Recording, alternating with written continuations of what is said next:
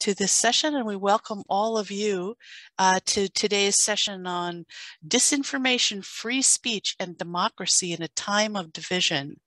Um, we will, uh, I'll just do a little verbal quick uh, run through of our agenda today.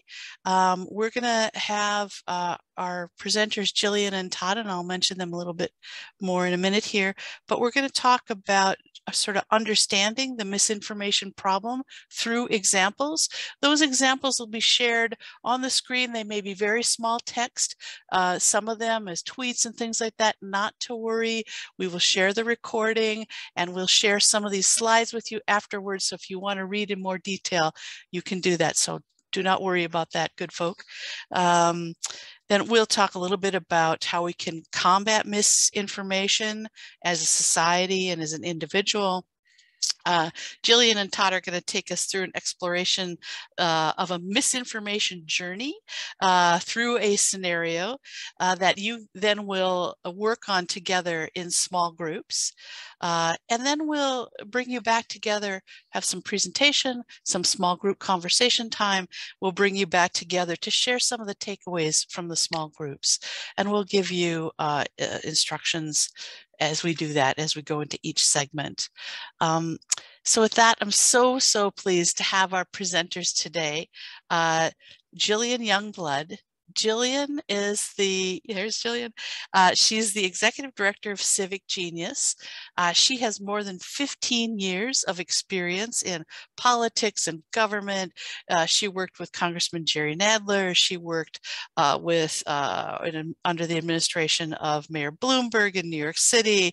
Um, she's done some communication work for an education technology startup as she has a focus on democracy reform, public health, and education policy. And I'm so pleased to call her friend. She is a respected leader within the democracy and bridge building uh, community. Um, and we just love her creative energy that she brings to all of us in this work. Um, so thank you, Jillian. And Todd Levinson. uh, Todd has worked on uh, policy at the local, state, and national levels, international levels, it looks like, um, focusing on uh, how to help Americans get jobs and gain the skills necessary to advance their careers. Uh, he's worked with the, uh, the New York City Mayor's Office, uh, with the Clinton Global Initiative, uh, he's worked with the United Nations and helped lead a conflict resolution effort uh, that guided civil society and government leaders from conflict to joint peace solutions, um, and has taught uh, moral and political psychology at the University of California in San Diego. So uh, I'm, I'm totally shorthanding all the great uh, depth that these two speakers have, but we welcome you and appreciate you being with us today. Uh, and with that, I will turn it over to Jillian and Todd. Great. Thank you so much, Cheryl, for that incredibly kind introduction. Um, we're really happy to be here with you today. Um, really appreciate you taking the time. Um, I'm going to do some probably clumsy screen sharing. So maybe Todd has prepared a musical number while I do that. Can't remember if we talked about that, Todd. Here we go. let's let's get started. So we wanted to start off with a few examples of misinformation. I should talk about Civic Genius. This is why you make notes. Civic Genius is a nonpartisan, nonprofit organization. We're dedicated to overcoming political polarization. Yes. Your, uh, the notes are uh, showing it's not just the uh, those slides. Very cool. This is going great. Please not hold. to worry. We are all uh, Zoom um, appreciators and many of us have been in the challenges of Zoom. So yeah, yeah. Okay. Give me one second. I apologize. Okay. Tell me what happens. What are you seeing? We're seeing your name. We're seeing starting to share screen. Oh, did you see? We didn't see your presentation though. Didn't see my presentation. That is. Just give it a moment to come flashback. Yeah. Yeah. Okay. you would think okay. I would be expert at this two years okay. into Zoom. Right. Yes. There you go. Okay. And now are you seeing my notes? Yes, you just added them. This is totally confounding. All right. Well, we'll live. So I wanted to start off with a couple of examples of misinformation that can get us thinking about the different trade offs as we decide what we want to do here. Um, this first one,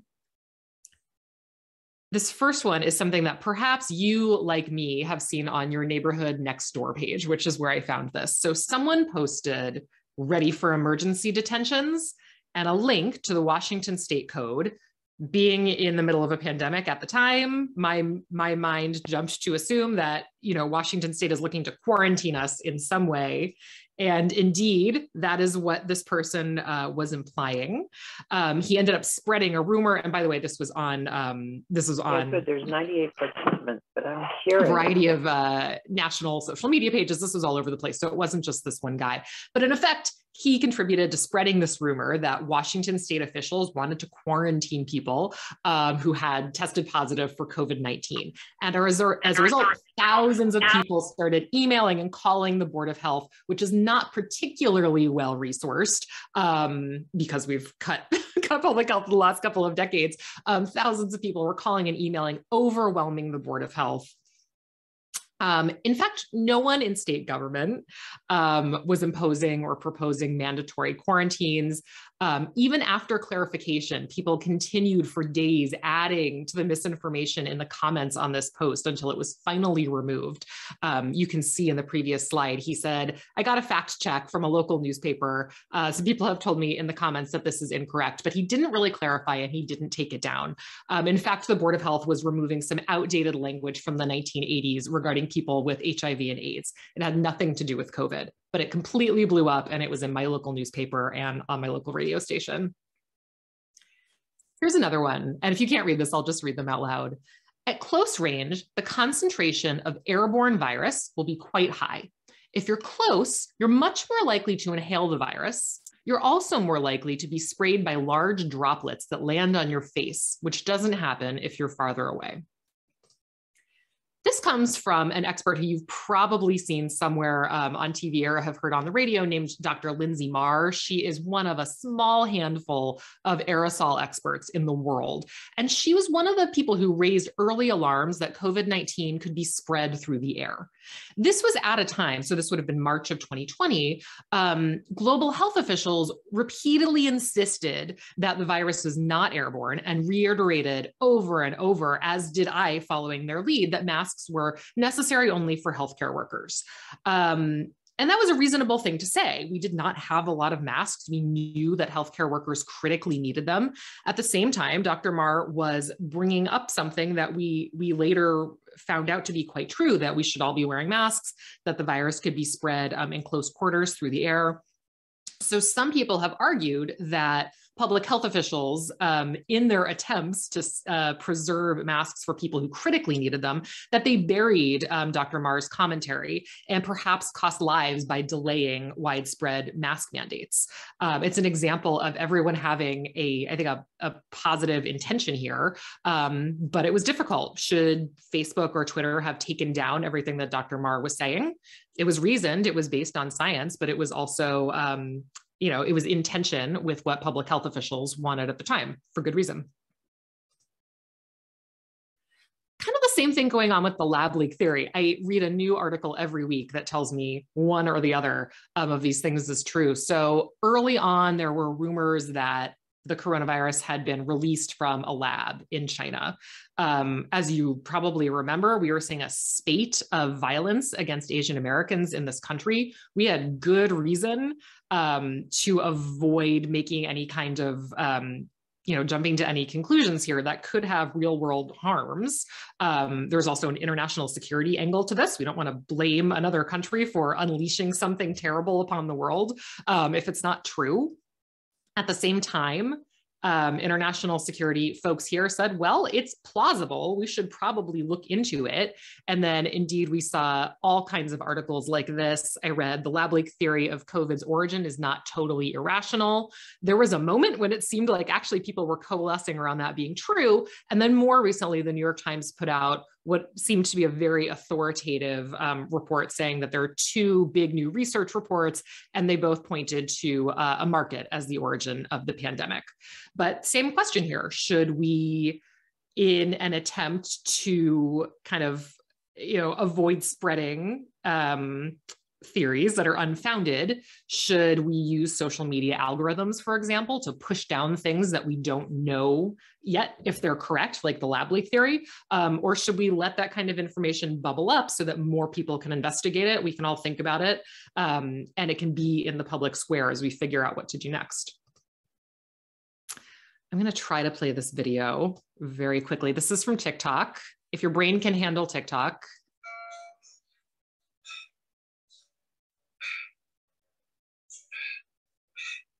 what is going on here? I will spare you the rest of this theatrical panting. So this is ostensibly a gentleman. Oh boy. There we go. This is ostensibly um, a gentleman who is live streaming from Ukraine. So you can hear that he's breathing heavily. There's sirens or air raid sirens in the background. He's running ostensibly through the streets of Kiev.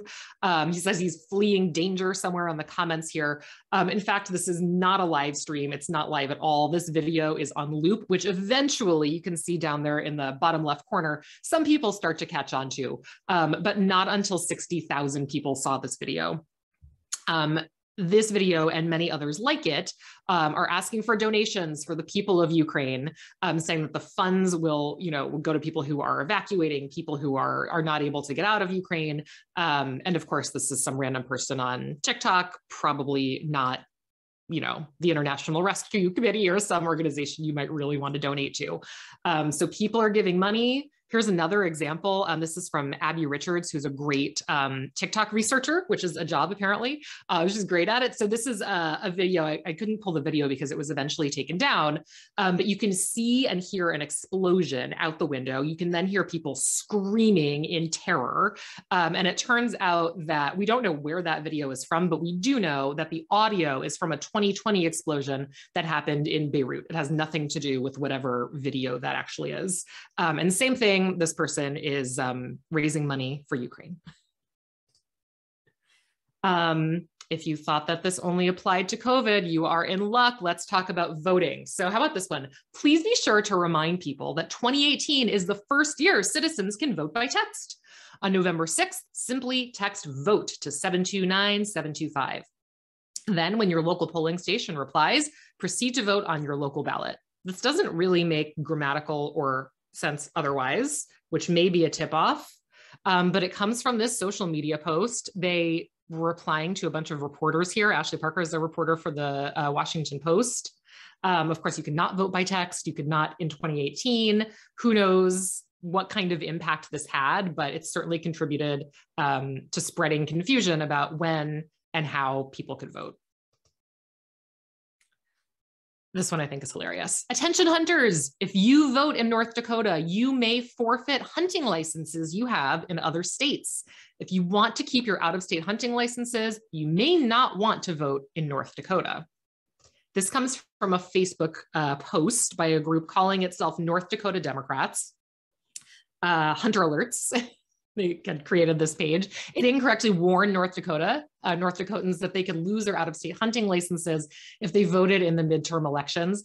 Um, the Republican Party in North Dakota came out and decried this post, saying that it was trying to confuse voters. It certainly was. Martha pointed out to me the other day that this um, we don't even really know who is behind this. So it says it's paid for by North Dakota Democrats you know, is there another layer of disinformation behind this? Like, who created that? Is that the name of a real organization?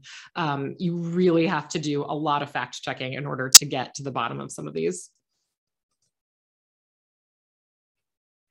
Um, and then let's talk about the election that you guys are all probably tired of hearing about. Real Clear Politics has withdrawn its call for Biden in the in the Pennsylvania election. So this comes from a YouTube host named Gary Franchi. He was one of many commentators spreading confusion about the election tally as it was going on. Um, you know, Pennsylvania certainly was a was a swing state. That was a place where we wanted to uh, see definitive results one way or the other come in. Um, but this was one of the early parts of the effort to sow confusion, to say that the election results are fraudulent, they're incorrect, there is some kind of cover up. This was the precursor to a lot of the stop the steal stuff, um, and you certainly saw this narrative um, all over the place for many months. And I am going to see. Okay. Sorry, everyone. My slides are a little bit all over the place. So as you can hear from that, disinformation is a topic. You can still see my notes, can't you? No, we can't. We can't Oh, see anything. can't. There's no sharing right now. There's no sharing right now. Yeah. okay, great. Sorry about that, everybody. So, no matter if you're on the left or the right, you have seen some examples of disinformation, and we could spend all day talking about the impact of disinformation, whether it's on our electoral system, our social cohesion, our international security. So, to tease that out, we're going to tell you a little story about a piece of disinformation. I promise it's fictional, um, although some elements might feel a little familiar. And um, then we're going to talk about some ways that that could have gone differently. Um, before we get into it, Todd is going to give us a framework for how we could approach the issue of misinformation and free speech so you can have that in your head as we go through our story. Cheryl, thank you very much for saving my slide That- life. That is me. Uh, is this, can you all see this? Yes. Yes, we can. Okay, wonderful. We'll go on this. And you can just start the presentation there, Todd. Wonderful. Excellent. So we want to take you through a journey of how a piece of information goes from Todd, can you do, sorry, Todd, can you do slideshow start just so it, it takes up the whole screen? Yeah, then I can't see, unfortunately. We're in the same boat. We're in the same boat. Okay. Can you all see this? Is this good enough? Yeah. Okay. You Thank can you. see. Okay, great. There. There you go. That's even better. Beautiful. Beautiful. Great. Now it's just how I get to the next slide. Let me pull some of that back. Okay, great. I think that's perfect. Excellent. So we want to take you through a journey of how a piece of information goes from senders to receivers and, and see how we might use each step along that journey, each possible point of intervention to disrupt in- misinformation while still preserving free speech. Now, a piece of it, misinformation starts with some actor putting it out there to be received. That actor could be another nation, um, as we saw in, uh, as we kind of see in real time right now. It could be political leaders within the country. It could be media actors or just regular individuals. Um, and any of these actors might or might not have some kind of agenda in sharing that misinformation. With that information being shared, at the first stage where we moderate content, there is a decision about whether a piece of information is in or out. That's the first stage and the first choice we need to make. Can, should we intervene there? Then, for information that gets through the filter of moderation, we have a second stage that determines whether a piece of information gets more or less amplified. Like a dial we can turn that influences what information spreads to greater or fewer numbers of users. In these first two stages, we focus more on how to control the flow of information. In the next two stages, we focus more on how to empower individuals to influence the kind of information we receive and how we respond to that information. So at the third stage, we focus more on consumer choice. If consumers had more social media platform options to choose from, more quality content to access, and more control over their data, they might choose better products that give us more reliable and constructive information and minimize our piece of misinformation's ability to reach too many people. Finally, at the final stage, we care less about whether our piece of misinformation reaches an individual and more about what they do with that information. Here, we focus on improving people's ability to separate fact from fiction. Each of these stages is a possible point of intervention.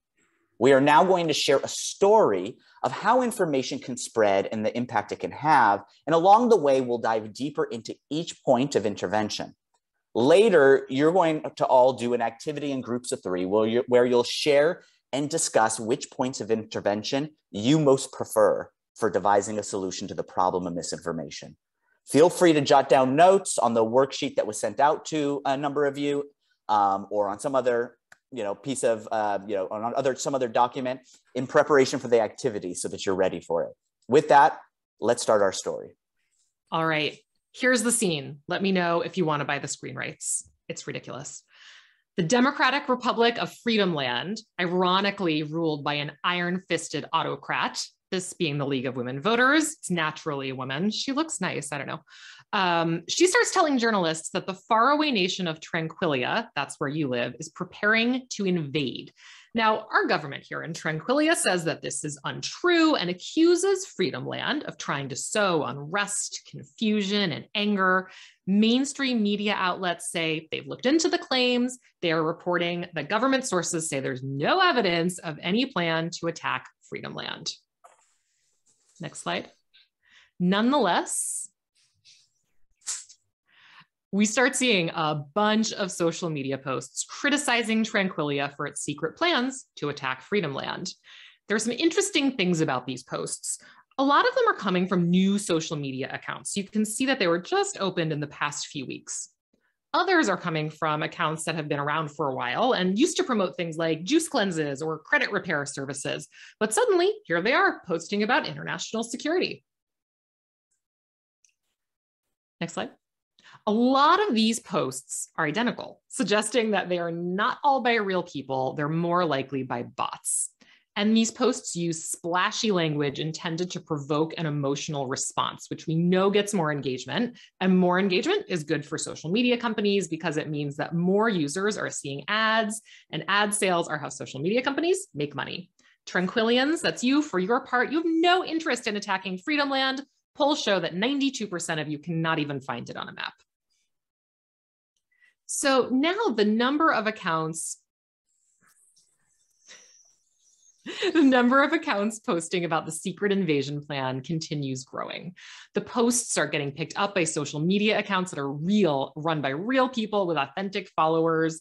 There's another weird thing going on, which is that some people in Tranquilia are seeing a lot of these posts and they have the impression that there is a potentially major conspiracy going on. Other people, however, aren't hearing much about this matter at all. Maybe they've heard a little bit about it, it's just kind of in the background, or they wouldn't know what you're talking about if you brought it up at a party. Now, a very popular cable host gets in the game and starts covering the story. He is both feeding off of and driving what's happening on social media. This is important because although we're talking about digital disinformation here, the digital space doesn't exist in a world on its own. There's interaction between online and offline speech and actions. So the issue is increasingly in the news. Many more people are beginning to have opinions about it. As you can see, these are all invented tweets that we had a lot of fun making. At this point, next slide, mainstream media outlets start publishing explainers about the controversy, showing that there's really no evidence of a secret invasion plan. Other journalists and commentators say that cable host is just spouting nonsense for the ratings. Tell me if this is sounding familiar. Regardless, Freedom Land's disinformation campaign has officially gone mainstream. So, with all this social media activity and news coverage, public opinion starts to shift. Now, half of Tranquilians oppose the supposed invasion plans, and the other half think that we actually should invade even though this whole thing is a foreign disinformation campaign. So when we think about real world impacts, here we are potentially moving into a war that would have catastrophic consequences, and the emperor has no clothes. So now People are calling and writing and tweeting at their elected officials. Perhaps the League of Women Voters has a campaign around this and you're urging everyone to call Congress. So now members of Congress and other elected officials have to take to social media and TV and radio to make their stances known. They've now got to have an opinion on this starting to get really confusing because we see this moving up the chain to more and more respected actors. Um, and it implies that something very serious is going on here regular people like us don't know what to believe. Sorry, I forgot I'm the autocrat. Regular people like you don't know what to believe. Looking for guideposts to help them understand what this whole thing is about, they start aligning strongly with their political parties. Now, in the beginning of this whole thing, social media companies, let's say, were taking down posts that contained misinformation, but now they face two problems. One is that the volume of posts is more than their moderators can handle. And two is that many users want to see the posts that contain misinformation. They don't necessarily view this as misinformation, but as part of what their political party cares about. Can we go back to um, the second protest slide? It might be forward. there we go. Anti invasion protests pop up around the country, and so do counter protests. Things are getting ugly, violent. In fact, protesters are showing up to town halls and threatening members of Congress. Armed protesters are packing state capitals. Everyone is now talking about this podcasters, celebrities, popular social media accounts who never talk about this stuff. Millions of people start to think that the secret invasion plan by Tranquilia is a real problem. Millions of others worry that the secret invasion believers are going to start an actual war based on fiction. Trust is uh, between the two sides is starting to erode quickly. The issue takes over politics to the point where nothing else is really getting done. Um, Todd, this is the part of the story where it starts to feel like we no longer live in the same reality. Uh, even in this fictional scenario, I immediately feel like I just want to shut it down, start from scratch, reboot the internet. And then I ask myself, well, who do I want making the decisions here? Do I want a handful of big tech companies to decide what the truth is? Do I want the government regulating speech? Um, and I don't really have an answer for that. So maybe we can figure it out together here. Todd's going to help me and all of us uh, figure out how to think about this. Great. So let's talk about that right balance, the need to find the right balance between moderation and free speech.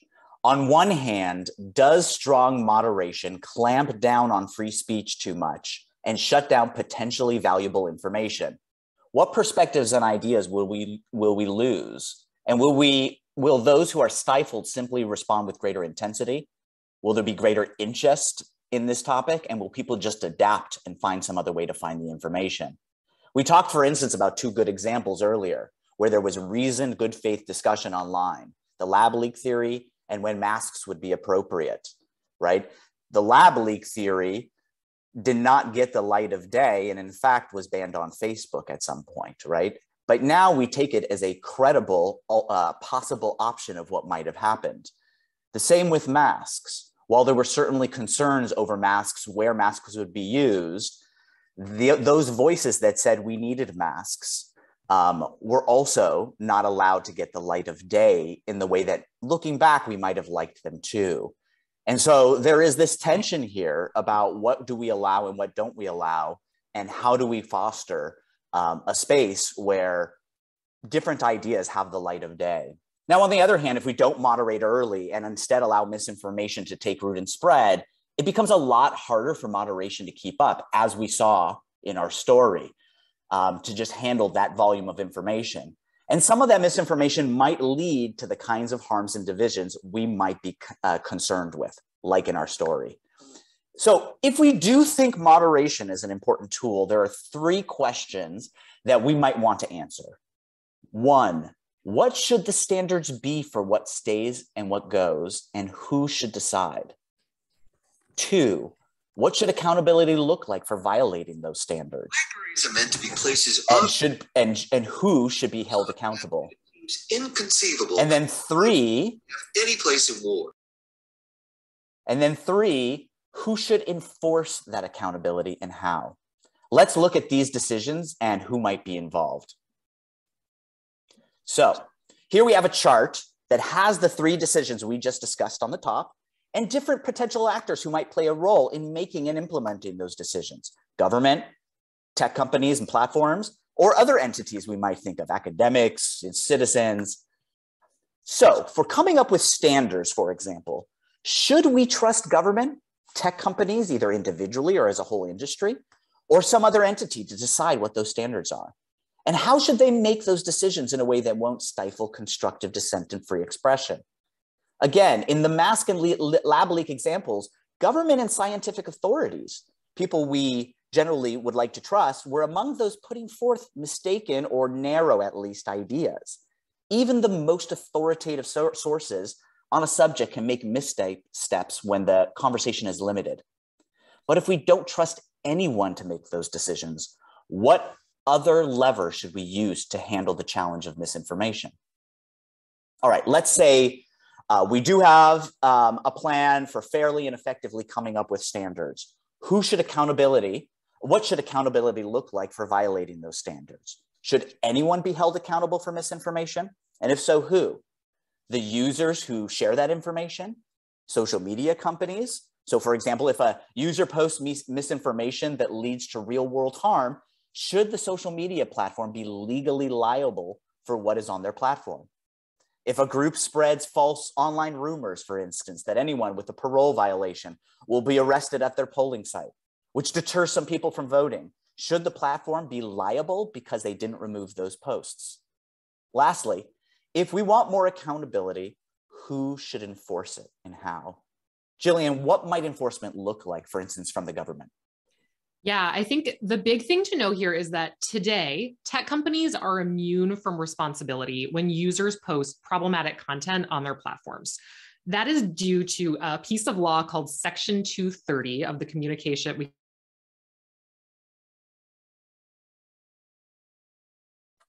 Um, it was created in the 90s to enable tech companies to grow and flourish rather than bankrupting them with lawsuits um, where anyone could sue a company and say someone has posted something that is uh, defamatory or incorrect. Um, the, the idea was that tech companies would just be dead in the water. They'd never be able to make it because they'd be bogged down with these lawsuits. This was a bipartisan effort that was created by a Republican and a Democrat in the Senate. Um, and I'll note that this is different than other kinds of media. So news stations get fined by the FCC if someone drops an F bomb on camera. And people right now on both sides of the aisle have a lot to say about Section 230. Some will say it is critically important. We've got to keep it. Others say that we should amend it, um, that we should even abolish it, um, so that social media companies have some legal liability for the content that's on their platforms. Great. And, you know, another possibility here is that maybe we just don't even want government to be involved maybe consumers themselves should be the ultimate enforcers either through you know changing platforms which we'll, we'll discuss later or perhaps they can be part of actually reviewing decisions about content that's removed through moderation um, in some kind of appeals process. So there are different ways that different actors can be involved in moderation. If you want to just take a moment now just to jot down some quick thoughts about whether this would or would not be a preferred point of intervention for you and what approach your might look like, now would be a good time. What roles do you think these different entities should play, if any? We'll just give you a couple moments to jot down some thoughts so that you can take that into your discussion later. I'm seeing someone in the chat who correctly said if you see a bot or a troll, do not argue or engage. Do not feed the trolls, is a very good tip.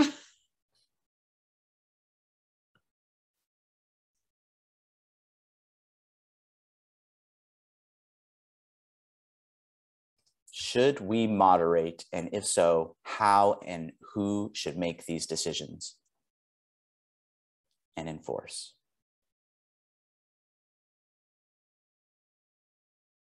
Great. Now that we have moderation covered, let's talk about amplification. With amplification, we have a slightly different but similar question as moderation. It is not whether or not content can stay on a platform, but whether it is spread to more or fewer people. By making a choice of what does and does not get amplified, are we still running into the same free speech problems?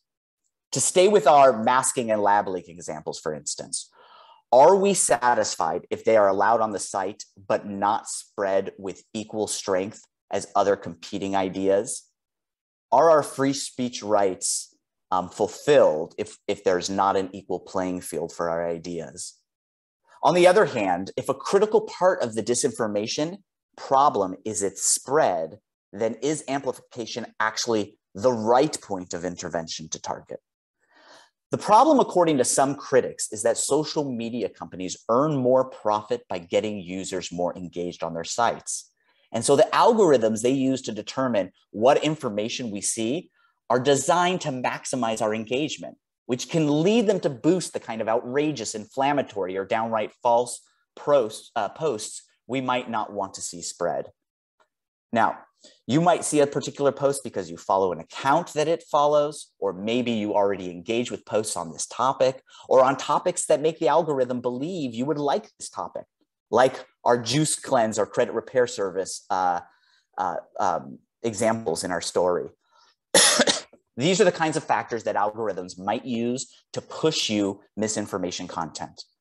So we would need to change in some way how the algorithms work which might involve targeting changes in the algorithm directly, or might simply involve requiring that we make those algorithms transparent, allowing them to be evaluated and challenged. Now, what might this look like? Here we have our chart again. To change what information spreads, we might change the content the algorithms are created to amplify.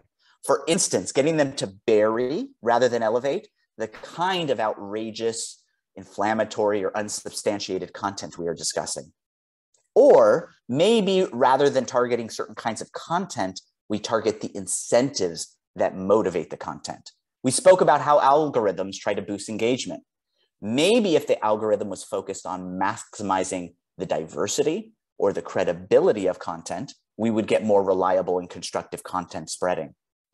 Or maybe we just require that social media platforms make these algorithms transparent and let the natural forces of debate, competition, and advocacy drive experimentation and change in the algorithms. In each of these cases, there is a question of the role that government, tech companies, or other entities should play. Jillian, what's an example that might illustrate this? Yeah. So, one thing that comes to mind is you might remember in the early days of Facebook that you just had a timeline. I think it was called the timeline, and Twitter worked this way as well, where the order in which things were posted was the order in which you saw them.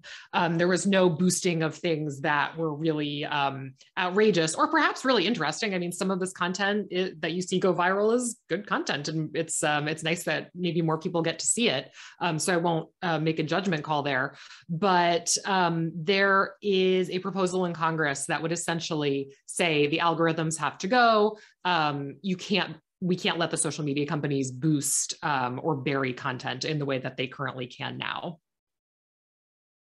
Great. So go ahead now and take a moment once again to jot down some thoughts that you have about whether this would or would not be a preferred point of intervention for you and what your approach might look like if it were.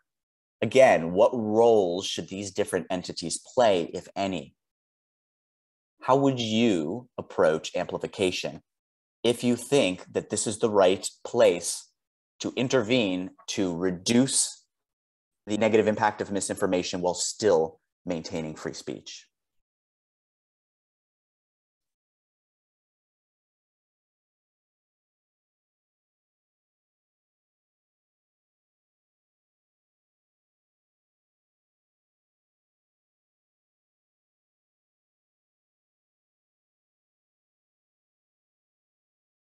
Great. Now that we have covered amplification, let's move on to consumer choice.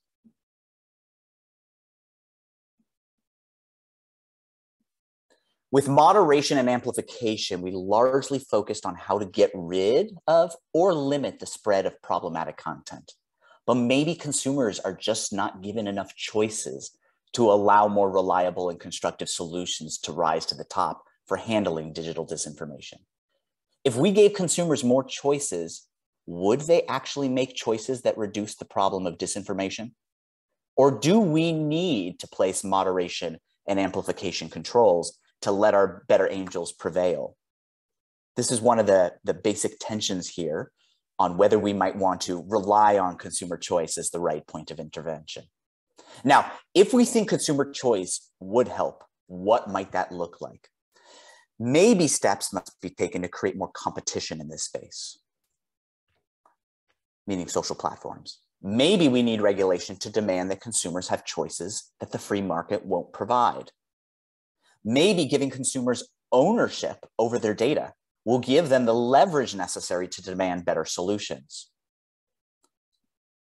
Here again, we have our handy chart to organize our thinking about this point of intervention. So, first, maybe consumers need more choices of the platforms that they can use or even on the platforms that they use. So, what could this look like? Maybe it means breaking up big platforms or maybe just leveling the playing field so that users can easily move their data and relationships to competitors who might provide a better solution um, that would minimize disinformation and its impact. Would that work? Would breaking up the big platforms maybe take away from what makes them useful to us um, and just give us worse products? Maybe instead, consumers just need more choice on the platforms that exist. One platform, for instance, that we spoke to gives users control over the kind what the algorithm is designed to feed them, a kind of personalized algorithm. Or perhaps platforms could even become a marketplace for uh, uh, marketplace for algorithms, just like there is a marketplace for apps on our phones. And the best algorithms will rise to the top and be used. So that's one option of where we can give choice. But another option might be it's it could be the case that there's just not enough quality content that has a fighting chance to compete. Much has been said about the decline of investigative reporting and local journalism. Perhaps supporting more of the good stuff, whether through funding or being elevated by the platforms, would blunt the negative impacts of the disinformation that exists. Finally, we have platforms, we have content, more, more choices. Some say we need more choice and control over our data. Now, we spoke earlier about the potential power of being able to move our data to new platforms to drive change. Um, by also maybe enabling us to keep our data private, we could blunt the impact of disinformation by making it so that algorithms can't use our data to target us with disinformation. So, how can we be given more choice? Um, and who might be involved in making that happen? Jillian, can you give us an example or two to illustrate this? Yeah, you gave some great ones, and I want to be mindful of time. So I'll just give the first one that comes to mind, which is a proposal in Congress that talks about filter bubble transparency. And it would basically require uh, social media platforms to allow users to opt out of algorithm feeds. So it would be a government requirement that uh, consumers have that choice on a platform. Great.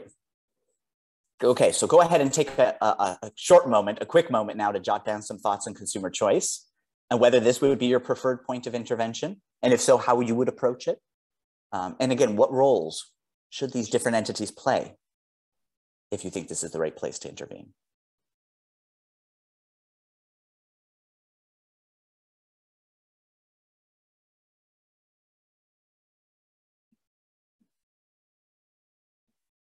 Excellent. Now, for our last one, maybe the solution is not as much in consumer choice as in consumer empowerment. Here we are focused on improving the individual's ability to navigate a more complex information world, relying instead on a bottom up, individual responsibility and education approach. Can we rely on individuals to mitigate the harms that disinformation can create if we empower them? This section highlights three avenues to empower individuals. One, it could be our ability to separate fact from fiction through such methods as the SIFT method stop, investigate, find better co- uh, coverage, and trace the claims to their original context. Um, or it could be news literacy education programs. Having technological tools can help that can help us separate fact from fiction could also be a way to arm uh, users, individuals. And finally, building awareness of the problem of disinformation and the strategies to combat it could also be a lever here. So, if we consider if we consider building individuals' capacity to separate fact from fiction through something like news literacy training, should that be something funded by the government, provided by tech companies, or promoted and created through some other entity? On the tool side, what tools might enable individuals to bet, be better consumers of information? For instance, would it help to have credibility ratings for the sources of online information? Do we need tools that detect the signs of disinformation for us so that we don't have to rely on ourselves to do so and warn us about the potential of disinformation? If these kinds of tools would indeed empower individuals, again, do we want government or tech companies to incentivize the creation of them? Much like we incentivize or even subsidize the creation of other interventions we need to improve society. Maybe we need to focus on building awareness. For instance, maybe of the SIFT method through initiatives like ad campaigns. These are three of the levers we might use to empower individuals. So go ahead and take a couple last moments to jot down any thoughts that you have about this point of intervention, whether this would be your preferred point of intervention and how you would approach it and who you would get involved.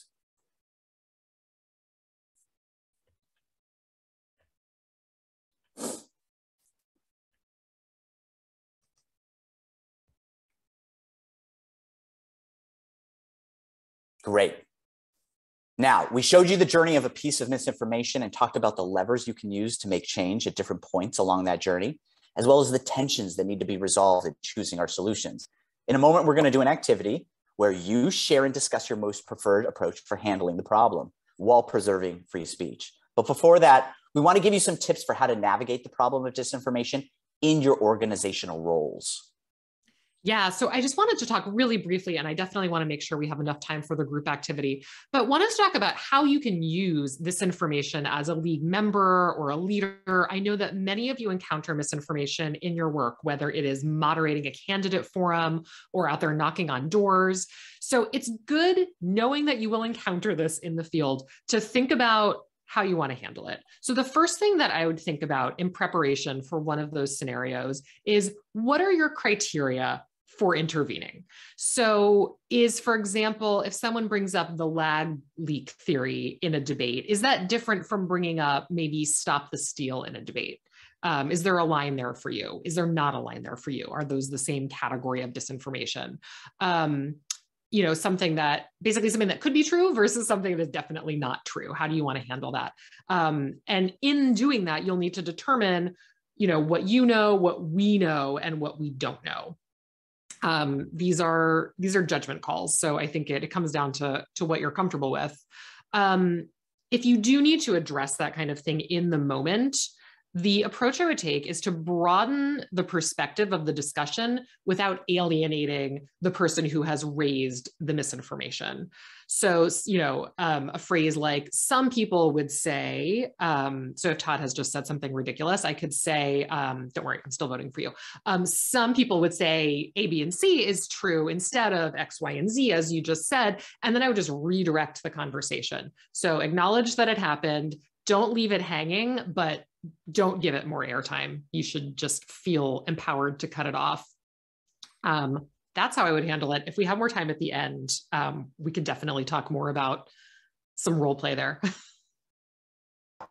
yeah, great. So now we're going to uh, break into groups of three to get deeper into these questions. We've got about 20 minutes for you. Person can take about five minutes to talk or share or to discuss their ideas about where you think the right point of intervention is. Is it moderation, amplification, consumer choice, or individual empowerment and action? And what the right lever is. Is it the government? Uh, should this fall to individuals? And what should they each do? So, what you're going to do is you're going to share your preferred approach, your rationale for choosing that approach, and what you think the biggest drawbacks or weaknesses are for your approach. So, be self critical here. How would just using this approach mark? What might be the unintended consequences um, that you could imagine? Then discuss the strengths and weaknesses of that approach as a group. Once you've discussed each person's approach for five minutes, then take another five or so minutes to discuss and compare the pros and cons or the trade offs of the different approaches that your group has found compelling. So once you do this, we'll give you so we'll give you 20 minutes. Um, once you do this, you will come back and we'll take questions and and thoughts and hear more about your experience.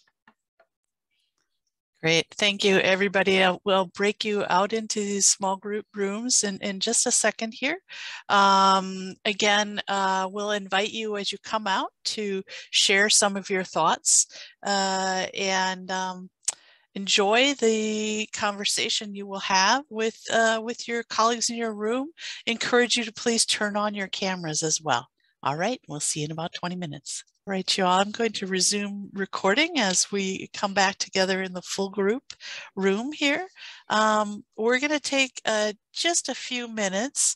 Uh, would like to see if um, you just had, you want to share into the chat just briefly, um, uh, you know, what maybe a point or two that came up from your uh, small group conversations. Um, you know, what uh, what did you think? How how was the uh, uh, the engagement? Um, you know, maybe share a takeaway that you had from your small group in the chat. Um, and then we'll, we'll have a few minutes also for questions. We noticed there were uh, questions that were coming in before you went into breakouts. Uh, so we want to take maybe about uh, 10 minutes of time here to see, get a, bit, get a little of your feedback.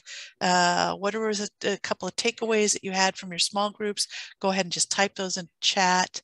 Uh, and then we'll see what other questions. And if uh, we want to take maybe one or two of you who may want to share verbally uh, your takeaway from this experience. If you'd go ahead and, you know, in the bottom where you can see reactions, go ahead and raise your hand. I'll show you like my hand is raised and we'll call on just a couple folks. okay. Or we read out some of the good dialogue. Great. Eye-opening exercise. Wonderful. None of our chat group uses social media. Ah, yes. Very uh, very important. Oops, am I frozen? Oops. You're not frozen, Cheryl. Okay, good. My screen has you all frozen, so I'm glad you can see me and hear me. Uh, I might not be able to see who's share, raising their hand. So thank you for going into the chat and uh, sharing your experience here. Let's see. Good. We need stronger effort to teach consumers. Yes, very good comment. Yeah. Think about an agreement to teach or moderate. All right. Let's see. I am because I'm sorry, you guys, because my free my screen is frozen. I see hands are raised, but uh, let's see. I'm going to ask one of my colleagues, maybe Barb or Martha, uh, if you could go ahead and I see Diane, if you could unmute yourself and um, thank you, Diane Proctor uh, yeah. from Concord, Massachusetts, although presently in New Hampshire. Okay. Um, I just our group was was really fun. It was wide ranging, but I guess the the the discouraging conclusion which we arrived is that in the last six years, the foundation of truth, what is true, has been so eroded that you know how we deal with the bifurcations in our society that have resulted um, is is really troubling. And that the, the, that any kind of common platform of agreement about what is true has in many ways um, evaporated. And and therefore knowing how to attack this uh, your we loved your grid we loved the conversation but we remain uh, verklempt thank you yes thank you diane thank you thank you great feedback uh, challenging work indeed uh, I see uh, Steve Buckley, you have your hand. Go ahead. Welcome, Steve. Yes, thank you. Um, I was, uh, we were talking about in our group about school boards, which seems to be not limited to any part of the country, the idea that they seem to be run without sufficient uh, explanation of protocol and etiquette or rules of engagement, mm -hmm. simply because they seem to be getting out of control and my suggestion was that perhaps the league, because they do so well with candidate forums, which I assume are run the same way all across the country, um, that maybe something similar, maybe some guidance could come from the league to help school boards um, across the country. I know there's a national association had asked the Department of Justice for help, right. but maybe they could get some help from the league about a standard protocol so that when people go to meetings, they'll know they'll have a chance to say something without being interrupted or great whatever. Sounds good. Thank you, Steve. Okay. Um, and I see Janice, you have your hand. Hi. Hi. Well, we had a very freewheeling conversation, but one thing we did seem to agree on is that lies and lying should not be covered under free speech. Hmm. Uh, being mistaken yeah, is yeah. one thing, yeah. but when you knowingly lie Mm. for your own benefit, yeah. uh, that should be should not be protected by free speech. Mm-hmm. Yeah. Yeah. Good point, important point. I don't know if Todd or Jillian, you have thoughts about, you know, sort of where that, how one determines that line and who determines that line and, you know, depending on the context, etc. Um, yeah. This is, Well- yeah, I mean, this is kind of the, the crux of it. So it's not illegal to say something wrong. It's, uh, so if I say something defamatory, um, if I say that Todd is a terrorist, Todd can sue, and I say that on, I don't know, Instagram. Um, You, did call me a liar. You did call me a liar I did call you a liar. In and the this is where it'll be presentation. online. This is And there were lots of spread of that misinformation. almost 100 people here. Um, so Todd can sue me for that. Um, but it's not, you know, the government cannot prosecute me for that. And this is like, this is at the root of it. Um, and people have been spreading misinformation for as long as we've been able to disseminate misinformation, right? Like you could stand in the town square and hand out whatever kind of pamphlet you want. Um, but of course, the scale when we're dealing with social media is just radically different. Um, and the way that we've we've thought about the legal structure around this is um, you know has nothing to do with how information's been disseminated in the past i cut you off todd go ahead Yeah, no, I was just gonna, you know, um, I hate to answer a question with a question, um, but I'm going to because that's I feel like part of our role. I mean, there's going to be a question, obviously, around intention, right? You you you um, distinguish between a lie and just being misinformed. It's really hard to get at intention. That's one. Two is, you know, are, is there a parameter of harm that we might want to think of? Is any lie, even if it is intentional, one that should be, um, you know, should should prompt accountability? Um, and so if there, if there, if it shouldn't, and there is some sort of parameter of harm, how much harm does it, what kind of harm does this cause? Um, then we need to figure out how do we even make those decisions, right? Like where do we draw the line? Um, so those are just a couple of kind of questions um, to think about when it comes to actually, um, you know, implementing something like that. And of course, there's just general ethical issues that people would debate about in terms of free expression. right. and i'll just add to that Um, someone in, in my small group made the good point that um, speech like all other rights is not unlimited so you can't incite violence for example people always use the, the example of you can't shout fire in a crowded theater um, so there you know there is already a line and we may Yeah. as todd said think about where to move it And one other thing, just another question to think about is unintended consequences. So pushing down lies, what does that do? How how do how would people respond on the other end? The people who are the sources of these, you know, supposed lies. Does that actually get us to the ultimate destination that we want um, in terms of um, change of hearts, change of minds, um, lack of motivation around spreading lies or misinformation? Um, there are some that make the case that actually trying to tamp these things down um, increases the intensity and the motivation to spread it and increases the interest of others to want to know oh that's a lie. Let me let me pay attention. So it can be an amplifier itself right? Um, so these are all questions um, that i think are just worth thinking about when it comes to you know um, holding lies accountable people who tell lies accountable. Yeah.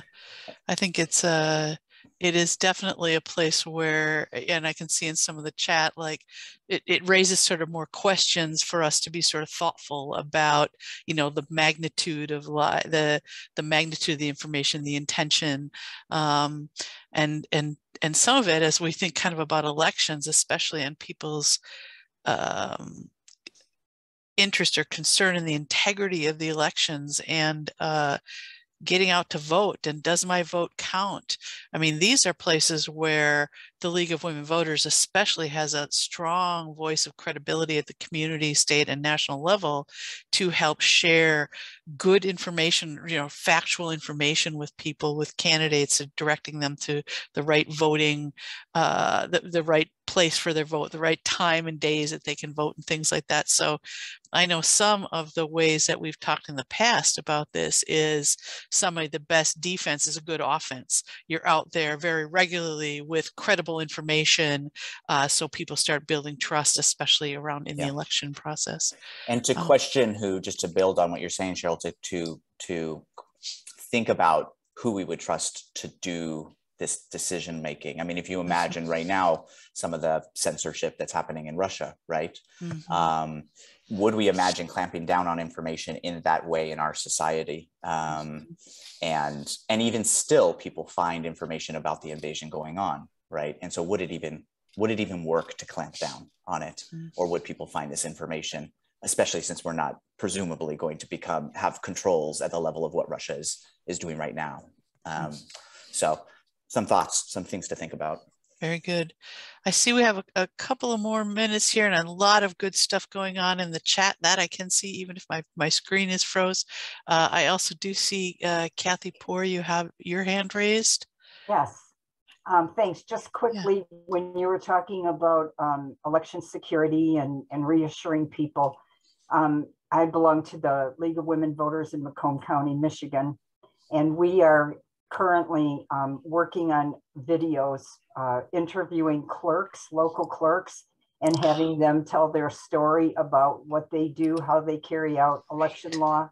And uh, it's almost ready for Great. publication. So we will share that with you when it's ready. But um, we hope that voters will hear for, directly from the people charged with carrying out those rules. Great. Thanks that is just wonderful. That is just such a great offering. People getting to see a little bit inside what the process looks like, well, it can uh, raise their confidence. And I did see Barb in the chat mentioned uh, Observer Corps, League Observer Corps reporting out what, what they see in government or connecting citizens to those uh, pieces uh, is great so much good stuff in the chat, everybody. We'll try to pull it and share some some with you because I know we only have a couple more minutes here. Uh, just see one more. Hope, uh, I see your hand up, and that we'll take that one last comment question there.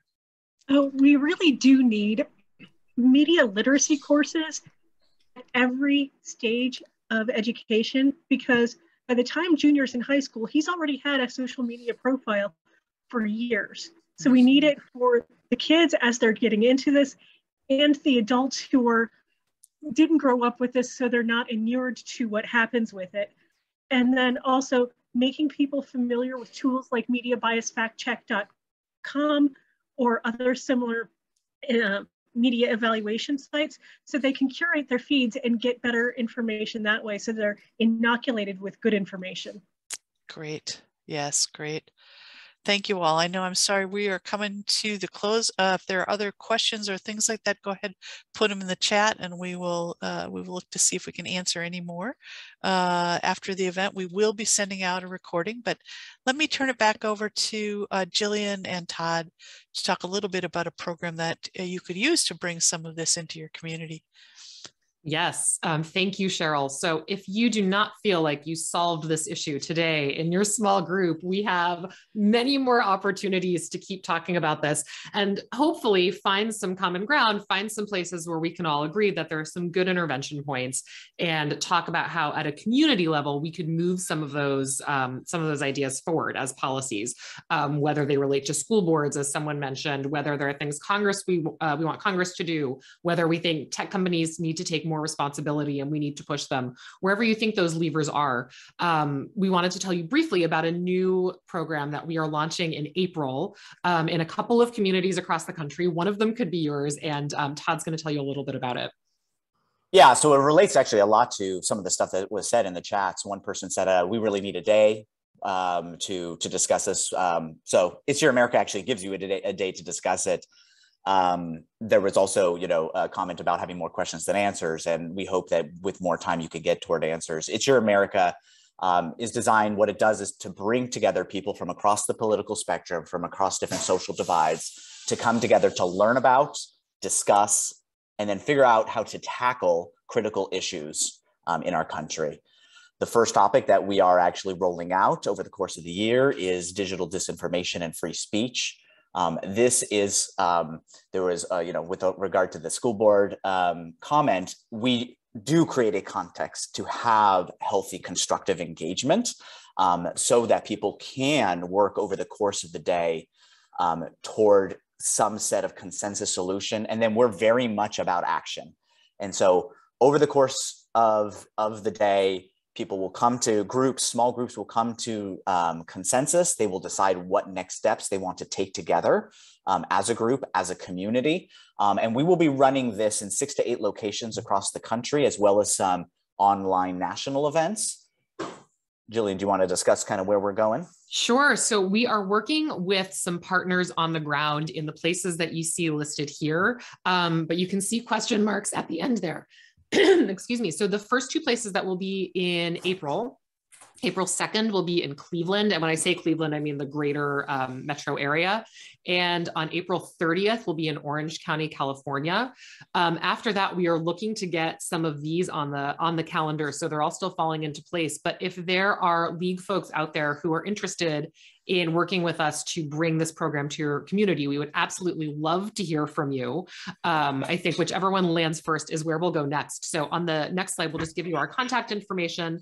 And I'm going to put the registration links for any Cleveland or OC folks in the chat um, in case those look interesting. Yeah, so there's there's three ways to get involved. One is you can just join us where we are um, if you happen to be there. Two is um, if you would like to bring um, this event to your area, email me about it and we'll definitely put you on the list and have a discussion about it. And then, of course, you could just generally uh, spread to your network this work that we're doing. Again, there'll be a lot, a lot that we do in communities because we want to spur community connection, consensus, and action. Um, but we will also be doing some national events. Um, and we hope you'll you'll get involved. Um, we think this work is really important um, to the point of how big this issue is, um, how hard it is one of the solutions that we are hoping we are adding is actually bringing to people together to talk about issues so they can can live in one reality together um, and then take action based on that. And there is a question that someone has. Do we want to take it? Uh, oh, yes. Nancy. Thanks. I see Nancy may have moved away from her computer. so, she is. Okay. Nancy, did you I'm have a here. question? Oh, I just wanted to make sure that you would let uh, give us allow us to get copies of the chat uh, because there are lots of good uh, ideas in there. Yes. Thank you. Will, you bet. I've been making a record of all the comments, and so I'll I'll do some editing and we'll get that out to you. Jillian, do you have the links? Did you put the links in the chat? I did. Yep. Links okay. are in the chat um, okay. to register for Cleveland and Orange County. If you're interested um, in potentially talking about another market, um, email Todd, or you can also email me and uh, we'll definitely be in touch. We'd love, uh, love to come to a theater near you. Great. All right. Uh, Martha, let me turn it over. Just to close with Martha Cox.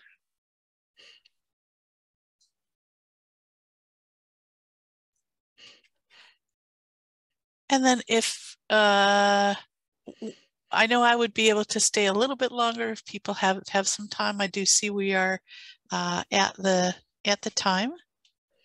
And Cheryl, thanks so much. And and thanks especially to Todd and Jillian for just a terrific presentation. You've really enlightened us all and we appreciate this and the work that you're doing every single day to bring Americans together to help our democracy thrive. We are in your debt. Um, we'll be, uh, uh, we're also very grateful to all of the Leaguers, all of you who have joined us today. Uh, we know your time is precious and the work you do every day inspires those of us on the planning team who continue to work for your benefit. Uh, as we usually do, we will send out a post-event uh, follow-up with all the links, the recording when it's available. Give us a couple of days um, and we'll send out as much information as we have available. If you'd like to sign up for Civic um, Genius or uh, sign up for our uh, network news e-blast, we'll put the links for you to do so in the follow-up. So this concludes our program. Thanks a million for joining us today.